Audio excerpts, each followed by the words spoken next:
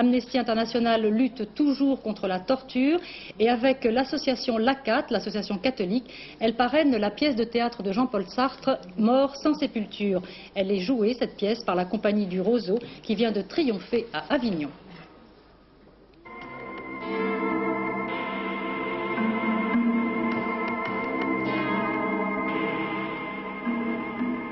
On a vraiment le sentiment que Sartre, euh, non seulement a été fait prisonnier, ça on le sait, mais aussi euh, a connu des gens qui ont subi la torture, et, il y a là-dedans un, véritable vécu. Il y a une chose que je peux t'apprendre. Ils m'ont demandé où étaient Jean. Si je l'avais su, je le leur aurais dit. Vous voyez, je me connais à présent. Qu'est-ce qu'il y a? Qui est là Jean Tais-toi Regarde, c'est bien, c'est bien ma veine. Qu'est-ce que tu dis Je dis c'est bien ma veine.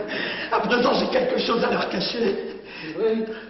À présent, nous avons tous quelque chose à leur cacher. Je voudrais qu'ils me tuer Je te jure que tu pas.